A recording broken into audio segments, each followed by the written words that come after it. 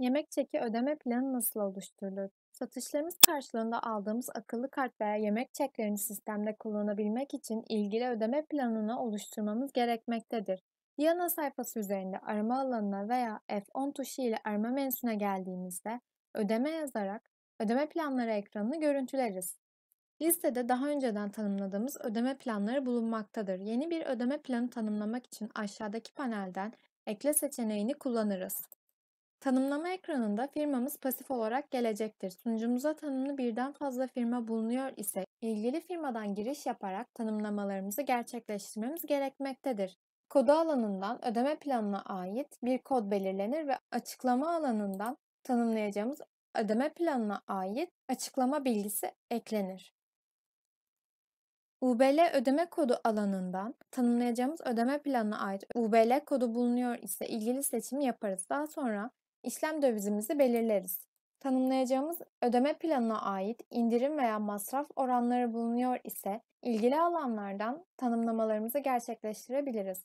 Hızlı satışta göster, mobilde göster, restoran ekranında göster alanlarını işaretleyerek ödeme planının kullanılmasını sağlayabiliriz.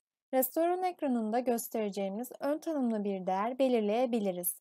Durum bilgisi yeni oluşturulan kayıtlarda aktif olarak gelmektedir. İşlem görmüş bir kaydı sistem silmeye izin vermeyeceği için görüntülemek istemediğimiz kayıtların durumunu pasif olarak değiştirdiğimizde liste ekranında görüntülenmeyecektir. Yetki kodu tanımlamaları ile sistemdeki kullanıcılar arasında sınırlandırmalar sağlayabiliriz. Fiyat grupları ile tanımladığımız ödeme planına ait herhangi bir fiyat grubu tanımlaması var ise ilgili liste ekranını görüntüleyerek seçim yapmamız mümkündür.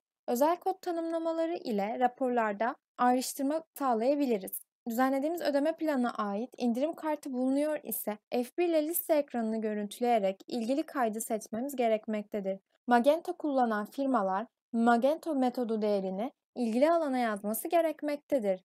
B2B, B2C sekmesini görüntülediğimizde firmamız B2B, B2C kullanıyor ise sanal post bilgilerimizi, taksit seçeneklerimizi, artı taksit imkanı, taksitlerde minimum değer, taksit erteleme gibi bilgilerimizi ekleyebileceğimiz alanlar bulunmaktadır. Ödemeler alanından ödeme türü belirlenir. Yemek çeki ödeme planı tanımlayacağımız için ödeme tipi olarak yemek çeki seçimi yapmamız gerekmektedir. Tutar formülü girişi sekmesinde bulunan ilgili formülasyonu tutar formülü alanına yazmamız gerekmektedir. Yemek çeki ödeme planı tanımlamamızda genel fiş tutarını ifade eden G harfini kullanırız. Tarih formül girişi sekmesinden hesaplanacak tarih için kullanılacak formülasyonları inceleyebiliriz. İlgili firma ile yemek çeklerinde alacağımızı bir sonraki ayın ikinci cuması olduğunu varsayarsak ay alanına artı bir yazarak hafta alanına geldiğimizde cuma gününü ifade etmek için haftanın beşinci günü virgül ayın ikinci haftası olduğunu ilgili formülasyonla belirtebiliriz. Ödeme planına yemek çeki tanımlaması eklememiz gerekmektedir. Yemek çeki tanımını F1 ile liste ekranını görüntüleriz. Yemek çeki tanımını listeden önceden oluşturduğumuz bir kaydı seçebiliriz veya aşağıdaki panelden ekle seçeneği ile yeni bir yemek çeki tanımlaması gerçekleştirebiliriz. Tanımlama ekranında çek türünü yemek çeki veya akıllı kart olarak belirlememiz gerekmektedir. Kod bilgisi liste ekranından sıralı olarak gelmektedir. İşleme ait açıklama bilgisi ekleriz. Uygulayacağımız komisyon değeri bulunuyor ise ilgili komisyon oranımızı ekleriz. Faturalandırma alanından düzenleyeceğimiz yemek çeki faturalarında ilgili cari seçimini liste ekranını görüntüleyerek yapmamız gerekmektedir. Daha sonrasında ilgili hizmet kartı seçimini yapmamız gerekmektedir. Yemek çeki tanımını kaydederiz. Liste ekranında tanımladığımız yemek çekini işaretleyerek aşağıdaki panelden seçeriz.